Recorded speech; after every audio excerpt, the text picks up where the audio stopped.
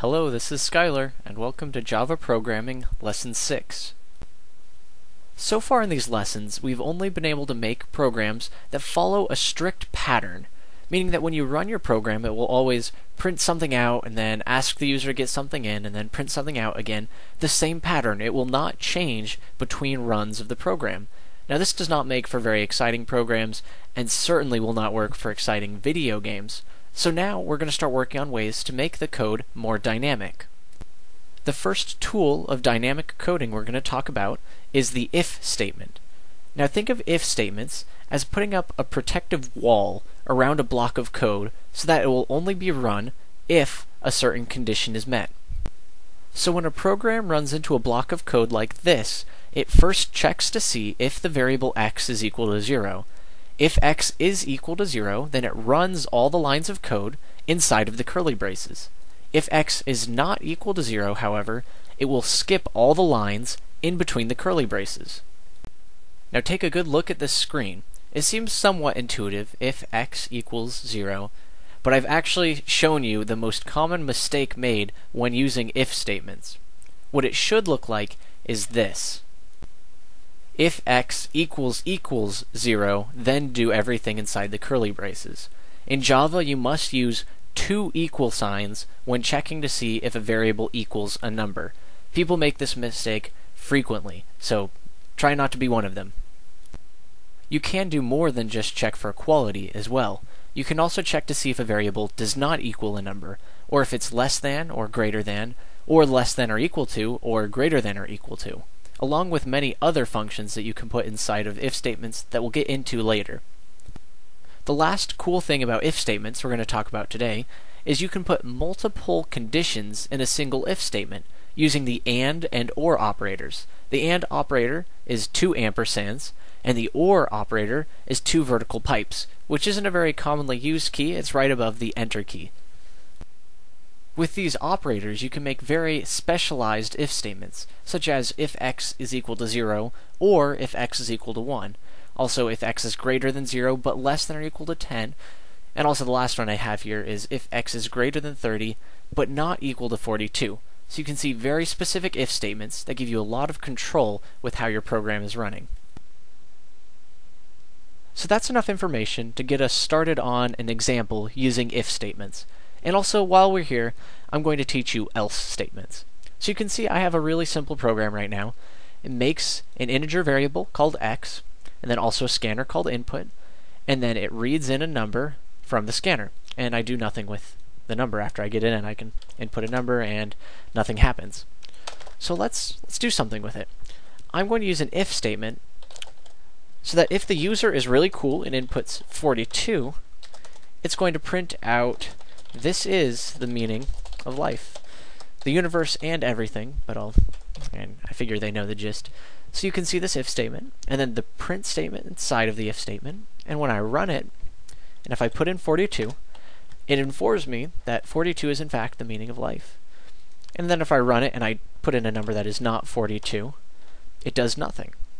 So it would actually be pretty good to let the user know if they didn't put in 42 that they were wrong. So if x does not equal 42, then I'm going to print out this is not the meaning of life. Shame on them. They should know better. So when I run this program, either this or this is going to be printed out because x can only either equal 42 or not equal 42. Um, this is the perfect situation for an else statement. So you can see if I delete this here and type in else, what this line, or these lines of code will do, is it will first check to see if x is equal to 42. If it is, it will run these lines of code.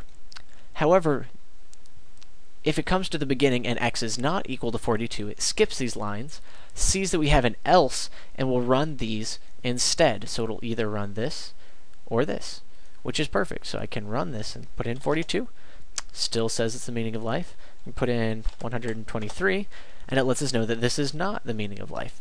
So this is an elf, if, else statement. The last thing that I can do here is I can do an else if statement in between here. And an else if statement works just like an if statement in that you need to have the parentheses after it. And inside of it, I'm going to say if x is greater than 0, then I'm going to print out oops, I'm going to print out that this is a positive number. Just so they know, you know, what's going on. Um, but you can see now I have the if, the else if, and then the else. And now let's run this though. And now if I put in 42, 42 is equal to 42 of course, but it's also a positive number. So is it going to print out this line of code, or print out this statement? Let's test it. Ho ho! It only prints out that this is the meaning of life, because that's what the else keywords do is, if this is true, then it will do this, and then ignore all of the else's, whereas if this is not true, then it will check the else ifs and then the final else at the end. If I put in a positive number now, that's not equal to 42, like 11, you see it prints out that this is a positive number, but it does not tell me that this is not the meaning of life, because once this is true, it prints these lines out, hits the else, and says, hey, I've already done something else before, so I, you know, I'm done, and it breaks out. So this is the structure of if statements. It's a little bit confusing. You're really going to have to practice on your own time. Um, but I also, before we're done, I want to do an example using a string. So here, I'm going to change these here and put a string. Alright. And if I were to ask you to use a program that checks to see if somebody puts in your name. So if x equals Skyler. This seems like the way that you should do it, right? And then I can be like, hey, yeah, this is me. Celebrate myself or something like that. Um, this seems like the way that you would use a string.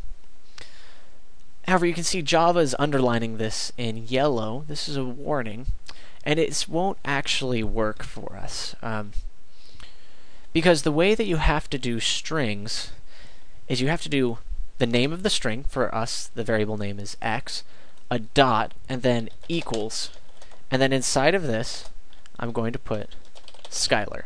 So if x equals Skyler, now you see we got rid of the yellow lines, and if I run this, it will actually work hey, yeah, it's me. And then if I put in something else, not Skyler, then yeah, it's not Skyler. So it doesn't go inside the if statement. This is kind of a weird exception. As we keep going, we'll definitely continue talking about the string object. It's an interesting one. For now, I just want to make sure that you you know this. Um, and you can use all the logical operators we talked about before. So like if x equals Skyler, or if x equals Good Sky. I go by that, online at least. So then if I run it, then if Sky, if I type in Skyler or Good Sky, then it will say that it's me. Well, there you have it. That's everything I'm going to go over with if statements now. I mentioned you have to do this on your own. That's really the only way that you're going to get really good at if statements. A good practice would be to go back to program number 5, the tutorial we just did, and um, change it so that instead of always calculating the three shapes area, have in the beginning you type in, or it asks you to, or which shape you want to get the area for, and then depending on what the user puts in there, it only calculates a single area. That would be a good way to practice using if statements. Um, that's everything for now, though. Thanks for following along so far. In Lesson 7, we're going to continue with more dynamic, slightly more advanced topics. So, thank you for following along. You're doing great. We're going to See you in the next tutorial.